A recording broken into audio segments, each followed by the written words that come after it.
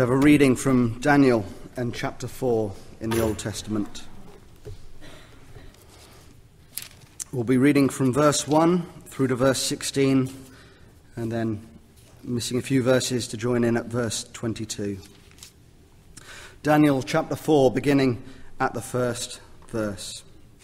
Nebuchadnezzar the king, to all peoples, nations, and languages that dwell in all the earth, peace be multiplied to you. I thought it good to declare the signs and wonders that the Most High God has worked for me. How great are his signs and how mighty his wonders! His kingdom is an everlasting kingdom, and his dominion is from generation to generation. I, Nebuchadnezzar, was at rest in my house and flourishing in my palace.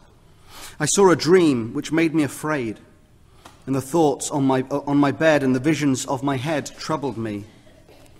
Therefore, I issued a decree to bring in all the wise men of Babylon before me, that they might make known to me the interpretation of the dream. Then the magicians, the astrologers, the Chaldeans, and the soothsayers came in, and I told them the dream, but they did not make known to me its interpretation. But at last Daniel came before me. His name is Belteshazzar, according to the name of my God. In him is the spirit of the holy God. And I told the dream before him, saying, Belteshazzar, chief of the magicians, because I know that the Spirit of the Holy God is in you, and no secret troubles you, explain to me the visions of my dream that I have seen, and its interpretation. These were the visions of my head while on my bed. I was looking, and behold, a tree in the midst of the earth, and its height was great. The tree grew and became strong its height reached to the heavens, and it could be seen to the ends of all the earth. Its leaves were lovely, its fruit abundant, and in it was food for all. The beasts of the field found shade under it. The birds of the heavens dwelt in its branches, and all flesh was fed from it. I saw in the visions of my head while on my bed, and there was a watcher, a holy one, coming down from heaven. He cried aloud and said thus Chop down the tree and cut off its branches. Strip off its leaves and scatter its fruit. Let the beasts get out from under it and the birds from its branches. Nevertheless, leave the stump and roots in the earth, bound with a band of iron and bronze in the tender grass of the field. Let it be wet with the dew of heaven, and let him graze with the beasts on the grass of the earth. Let his heart be changed from that of a man let him be given the heart of a beast, and let seven times pass over him. Then, if we move to verse 22, as Daniel is interpreting for Nebuchadnezzar, Daniel says, It is you, O king, who have grown and become strong. For your greatness has grown and reaches to the heavens, and your dominion to the end of the earth. And inasmuch as the king saw a watcher, a holy one, coming down from heaven and saying, Chop down the tree and destroy it, but leave the stump, it, leave its stump and roots in the earth, bound with, a, bound with a band of iron and bronze in the tender grass of the field. Let it be wet with the dew of heaven, and let him graze with the beasts of the field till seven times pass over him. This is the interpretation, O king. And this is the, de- the decree of the Most High, which has come upon my Lord the king. They shall drive you from men. Your dwelling shall be with the beasts of the field, and they shall make you eat grass like oxen. They shall wet you with the dew of heaven, and seven times shall pass over you, till you know that the Most High rules in the kingdom of men and gives it to whomever he chooses. And inasmuch as they gave the command to leave the stump and roots of the tree, your kingdom shall be assured to you after you come to know that heaven rules. Therefore, O king, let my advice be acceptable to you.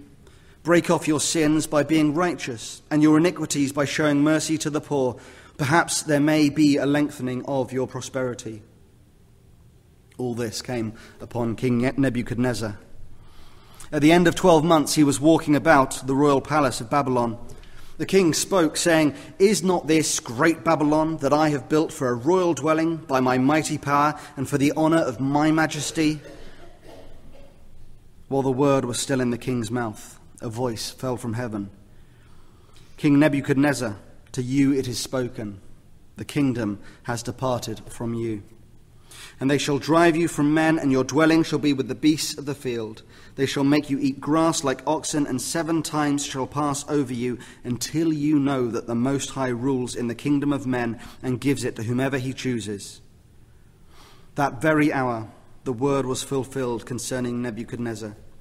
He was driven from men and ate grass like oxen. His body was wet with the dew of heaven, till his hair had grown like eagle's feathers, and his nails like bird's claws. And at the end of the time, I, Nebuchadnezzar, lifted my eyes to heaven, and my understanding returned to me, and I blessed the Most High, and praised and honored him who lives forever. For his dominion is an everlasting dominion and his kingdom is from generation to generation. All the inhabitants of the earth are reputed as nothing. He does according to his will in the army of heaven and among the inhabitants of the earth. No one can restrain his hand or say to him, What have you done? So this morning we looked at Psalm 1, Psalm 1, and this evening we're looking at Psalm 2. Now, some people have remarked, and I think there's something to it, that these two psalms together represent the entire Psalter. So if you want, you can tell your friends later this week that on Sunday we had a series on the whole Psalter. Uh, because Psalm 1 and 2, when you put them together, uh, they sum up the, the message of the whole book. Now, Psalm 2. This is, um, this is one of David's Psalms. It might not be in the little heading that you have there, but we know it's one of David's because Christians praying to God in Acts chapter 4 said that this was David's psalm, and we can take their word for it quite safely. But we're also going to say this evening that not only is Psalm 2 written by David, but it's about our Lord Jesus Christ. How do we know that Psalm 2 is about Jesus? How can I say that with such confidence? How can you take my word for it? Well, in the New Testament, there are seven references to Psalm 2. How many of those seven do you think refer to our Lord Jesus? Seven. Every single time that the New Testament references Psalm 2, it's in connection with Jesus. And so that's, the, uh, that's how we're going to look at it this evening. So let's read it together Psalm 2, from verse 1. Why do the nations rage and the people plot a vain thing? The kings of the earth set themselves, and the rulers take counsel together against the Lord and against his anointed, saying, Let us break their bonds in pieces and cast their cords from us. He who sits in the heavens shall laugh. The Lord shall hold them in derision. Then he shall speak to them in his wrath and distress them in his deep displeasure. Yet I have set my king on my holy hill of Zion. I will declare the decree the Lord has said to me You are my son. Today I have begotten you.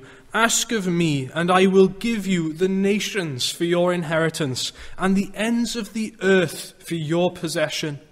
You shall break them with a rod of iron, you shall dash them to pieces like a potter's vessel.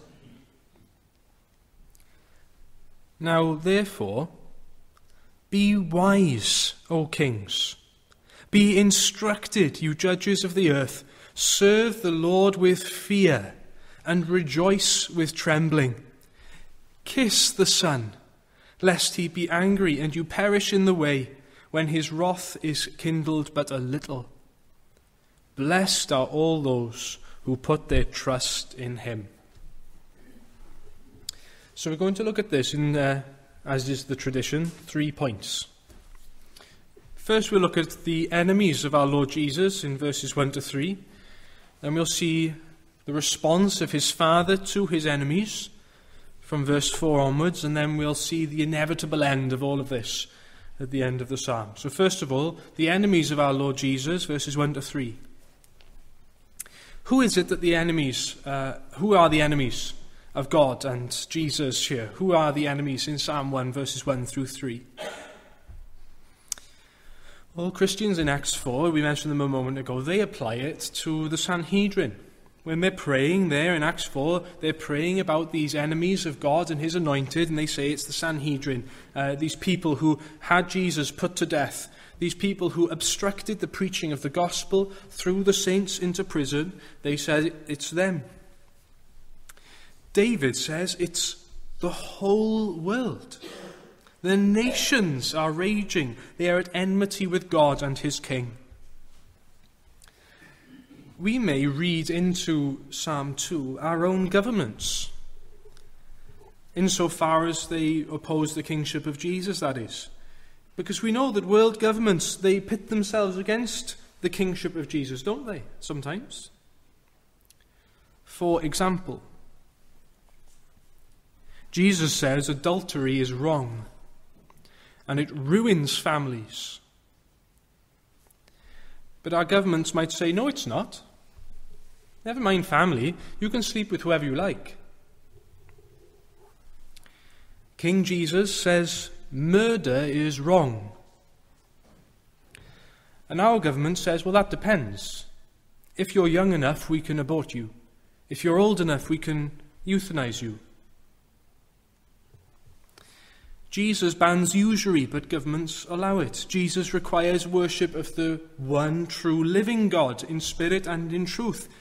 But many governments over the world criminalize it, even establishing into their laws worship of false gods. Jesus comes to free captives, and we have governments in the world that make captives. Now, before you think I'm a revolutionary, um, we must be thankful for our governments. This is why I asked um, David to uh, pray for our government in particular this evening. It's important that we do. We're commanded to do so by God. Our governments are a God given gift to us for us to pray for, for us to bless. They are our provision, they are our protection. They give us law and order, which is no small blessing indeed. Despite their godless faults, they are there for our good. And besides, David has a bigger agenda here than just the world governments. See, who else is involved here? Look at verses 1 through 3. Who else are the enemies of God and his Christ? It's not just the nations. In verse 1, it's why do the nations rage and the people plot? See, all the people of all of the nations are dragged into this condemnation. Every individual. Of course, this especially applies to the unbeliever in a sense, but in, undoubtedly it lumps us all in. We are all in this together, opposing the kingship of Jesus in Psalm 2, verse 1. Believers can resist the kingship of Christ too. We all want to be kings and queens over our own lives, don't we? We want to be sovereign over our own little world without God as a rival. Do you have any children? Remember them when they were about this high. And when you would uh, bring them a, a new toy, it's their birthday, it's Christmas, or it was on sale or whatever, you bring them a new toy and you, you give it to them and they take it and there's no thanks. They're just happy to have it. Uh, they might smile, but they're just really glad to have this. And but apart from that, no thanks. Might not even get a reaction, and but if you take that away, then you'll have a reaction. If you take that away, they bawl, they scream, they might get angry. Do you remember that? That attitude is present in so many people today. It's present in many of us, even here. Giving God no thought for all of his blessing. Every dinner he puts on our table, every day he clothes us, every day we wake up and the roof hasn't caved in. Every day we wake up and our houses aren't flooded. We wake up and our spouses are still beside us. We wake up, our children are still here. And all of these blessings, all of them, they're all by God. They're all from God to us, freely, kindly, by his grace. And do we think of him? Do we thank him enough? We can't thank Him enough for these blessings that we have. But woe betide him if he withholds anything from us. We blame him and we curse him if he takes anything from us. Yes, it's down to each and every one of us that we want to be the king of me land, don't we? Deciding what is right and wrong for ourselves. And we decide how we ought to behave and how others ought to behave. And you better toe the line with me in my little world. We insist that others behave according to the rules of our little land. We, this is our kingship over our lives, not a thought for the kingship of Jesus. For example, Jesus says in Matthew 6 and verse 31 onwards Do not worry, saying, What shall we eat, or what shall we drink, what shall we wear? Your heavenly Father knows that you need all of these things, but seek first the kingdom of God and all his righteousness, and all these things will be added to you. How many of us say in reply to that? But what do I wear? But what am I going to eat? What about my job? What about my pension, my house? Never mind the kingdom of God. What about my hair? What about my clothes? What about where I'm going to get my next job or where my next paycheck is going to come from? Never mind not worrying. Jesus says, Come unto me, and I will give you rest. And the world, it will go anywhere, anywhere at all but Jesus for rest. How many of our friends are stuck in horoscopes, stuck on Facebook, stuck on Instagram? You've got to get that profile picture right. They go to yoga, they go to therapy, they go to the gym, they go to church, they go to Christian conferences anywhere but Jesus for rest, for a quiet conscience. You know, our Lord Jesus, He offered Himself on the cross to God our Father so that He could offer Himself to be our King. He offers Himself to be your King even this evening, and not just any King, a loving King. A King who will provide for you everything that you will ever need out of his free grace and kindness. He promises to protect you from all evil.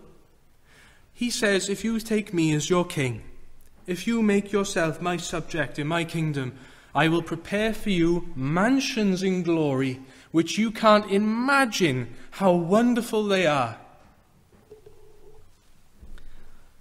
Oh, but for how long did we say no? Let's cast his bonds from us. I want to be king of my life. I want to live and to speak and to do as I ask. Even Christians think and speak like that sometimes. Imagine a, a, city. Imagine a city in your mind. It's been besieged by an army from a foreign nation. This army has broken into the city and has taken over. The war is won and this city is lost. That new army draws a border around the city and includes it in its land. The city now belongs to someone else. And the king moves in. The king builds a new palace in this city that he has conquered. And he sits there and he establishes a new legal system, a new social system. There's even a new post office and a new train station. And it's all now new, completely subdued by this new king. But there are pockets of this city that still house some rebellion. There are still people involved in a resistance movement against the new king. And unfortunately, that is the Christian heart. Until we come to glory, until Jesus comes again, we are warring in ourselves. We have been overcome. We have been subdued. Christians have been completely defeated by the love of Jesus. Do you remember that day? When you were just overwhelmed, overcome, completely run over by this new king. He's moved into my heart. I love him and I serve him. But we say with Newton, my heart is like a city but half subdued. Mutinies and insurrections are daily happening. It's so sad and it's so hard and it's so frustrating, isn't it, when we catch ourselves thinking, speaking like that. Now, I must be sensitive here. Allow me to suggest that church is one of those places where we need to be most careful. On the lookout for those pockets of rebellion and resistance in our hearts. Church is where this can persist most clearly we might slip into the habit of thinking, this is my house. This is my little kingdom. This little bit over here, this rota there, this club over here, these are my things, and I decide what happens to them. And so and so and so and so better pull their weight, they better do it my way, because I'm the little king of this little part of the church. It has to be said Watch out for this in your heart. Don't think about other people's hearts. Watch out for it in your heart. Because it is so rotten. Because this place is God's. We are God's workmanship. We are God's people that make up God's church. We serve the church. The church is ours. Watch out for that in your heart. I'll watch out for it in mine. Let's see the Lord's uh, response to this. Let's see the Father's response to this, this uh, the enemies of Jesus coming against his kingship in verses 4 through 6. Verses 4 through 6. Imagine in your mind a grandmother who plays Scrabble. She plays it every day, in fact, but she goes to club once a week. And she's very good. She has it on her phone as well and she, uh, she's, she's very, very good at it. She's one of the best in the county. And her granddaughter, who visits her every other day, uh, sees that she likes Scrabble a lot. And uh, her granddaughter wants to learn how to play. So her, the grandmother, she teaches her granddaughter how to play Scrabble. She teaches her. She has five or six games with her, and her granddaughter now, she's catching on, this little girl. She starts to think, I'm getting good at this. I can spell some words, I'm getting some points on the board, this is quite good. So after six or seven games, she, uh, she then, this little girl, she rocks up at her grandmother's Scrabble club that week and challenges her grandmother at a game of Scrabble to see if she can beat her. And it was only after a few turns that it was very clear that 60 years of playing Scrabble doesn't match up to six games, and with a triple word tile featuring gherkins, the game was over. The grandmother had won. That little smirk that you have on your face, or some of you anyway, that laugh, that's written into verse 4 here. The combined efforts of the whole world against God, the combined efforts of all of his enemies, all the peoples of all the nations in all the world against the King Jesus, the Father laughs. He laughs at it. It's laughable that we should think ourselves independent of God. Remember that reading we had in Daniel 4, that lesson that God was trying to teach Nebuchadnezzar until you know that the Most High rules in heaven and He gives it to whomever He chooses. And He's chosen Jesus, not you. Despite the futile effect, uh, uh, despite the futile efforts of the whole world, God has put Jesus as the king over the whole universe. Did you know there was a time when all of the enemies of the world uh, against Jesus, they joined forces with the devil, and do you know they, they succeeded once? Do you know that time? You know, even when all the enemies against Jesus, they came, G- Judas was there, the Sanhedrin were there, the Jews, Pilate, the Rome, the Romans, the devil, they all came together, they all mounted an assault, and they won. They nailed Jesus to a cross, they killed him, they buried him. And God the Father, He laughed. He laughed and He raised Jesus from the dead to the power of an endless life, glorified Him, lifting Him up to sit on His throne forever. And He says, Ask of me, and I will give you, Jesus, the nations for your inheritance, the ends of the earth for your possession. Pilate who? Judas who? It's laughable that we see this even today, don't we? You know, people in our lives, our friends, our family, they resist the kingship of Lord Jesus, don't they, so many times?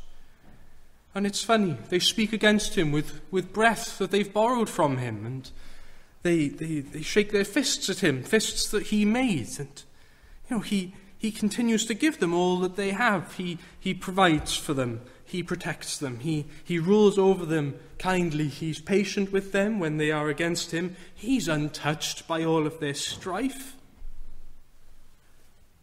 And what's even more funny is King Jesus calls these rebels from their sin to faith in him. Jesus calls these rebels to repentance and, and to receive him as their king. And you know what? They can't resist. He hears their praise, the praise of the rebel who, who would come against him and cast his bonds away and dethrone him. He hears their praise and he saves them. And you know what? They can't stop him. They can't stop him from saving them. What about you? Are you resisting the loving kingship of Jesus? How long has King Jesus been calling, or rather, wooing you, and you've yet to come? You know, you ought to surrender to him. You, ought to, you really ought to surrender because God has set him as the king over the whole universe. Yours is to surrender Yours is to serve. Yours is to run to Him, not into some slavery, not into servitude, but into His loving, open arms. I have a friend uh, from Cardiff, and uh, a few years ago she was an ardent atheist. She hated God, she hated anything to do with Him. Um, and one day, someone from the church shared the gospel with her, and we didn't see her for a very long time. And then out of the blue, she came, she came back. She got in touch with me. She said, I need a Bible. So I didn't ask many questions. I just got her a Bible. And I met up with her and I said, why, why all of a sudden you want a Bible? What's happened? I thought you hated God. I thought you hated His Word. She said, God is calling me by His Spirit, and there's nothing I can do, and He's going to win. She knew the game was up.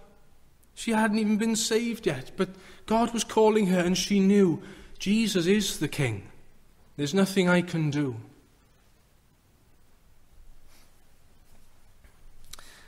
Let's look from verse 7. From verse 7. This is where we begin to look at the, the end of all of this. What is this little section in verses 7 to 9? What is this? Who's speaking here? There's a lot of speech marks around and a couple of different people. What's going on? Well, in verses 7 to 9, we are being made privy to a private conversation between God the Father and God the Son. That is staggering in and of itself. But here's what's happening Jesus is quoting his Father. Jesus says, I will declare the decree that God the Father has said to me. God the Father says to Jesus, You are my Son.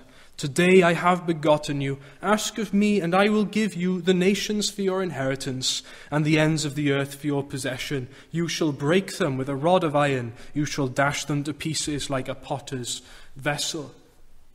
Now, this has multiple fulfillments, but we're going to focus on the greatest, which is the second coming of our Saviour. The second coming. This is, uh, is very difficult, in fact, it's impossible to imagine the scale of that day. How fantastic it will be, that event, how enormous.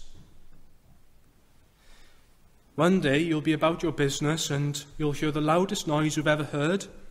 Jesus will appear. The heavens will unroll like a scroll, and you will forget everything. All you will know is what is happening in front of you. You'll forget your family, you'll forget your name, you'll forget everything. You'll just see Jesus coming on the clouds of glory. Everyone will see him. The Father has given him all authority in heaven and earth. The Father has given to Jesus everything. Everything is his. And that day he will come to take it. And you will get to witness that wonderful day, that terrible day. But you won't be alone. You'll look, if you look around, you'll see everyone that you've ever clapped eyes on before. You'll see everyone that you've ever known, everyone you've ever even heard about. You'll see every prince, every pope, every pauper, everyone you walked past on the way to church this evening. You'll see everyone that you drive past on the way home. You'll see them again on that last day. Everyone will see him. Every knee will bow. Every tongue will confess, finally, that Jesus is Lord. This is the inevitable end, inevitable because God has made his Son king over all things. He is already the king. There is no one from whom Jesus is not owed, uh, to whom, from whom Jesus is not owed and requiring an oath of allegiance. Jesus can have that from anyone. So there are some words now for a believer and for an unbeliever, but both are relevant to everyone. Believer, you belong to Jesus.